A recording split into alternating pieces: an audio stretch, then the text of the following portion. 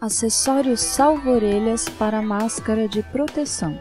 Você vai precisar de régua, tesoura, linha e agulha, botões grandes, fita de tecido.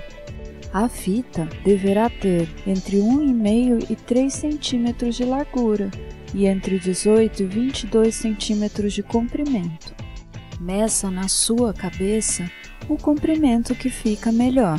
Você pode usar vários tipos de fita, como por exemplo, cintos de tecido, fita larga de cadarço, elástico largo.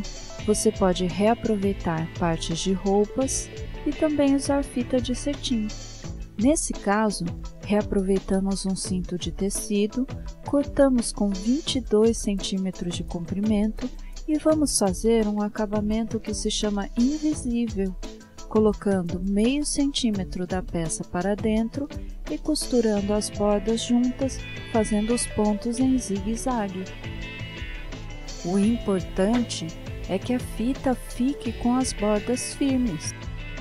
Você também pode fazer a barra simples e no caso da fita de cetim, pode queimar a borda para que não desfie, mas atenção, muito cuidado ao mexer com fogo.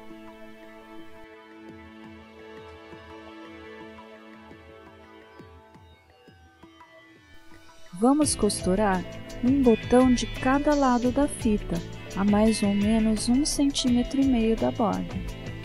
Lembre-se de passar a linha várias vezes pelo botão e fazer bem o arremate para que o botão fique firme. Muito bem, seu salvo-orelhas está pronto.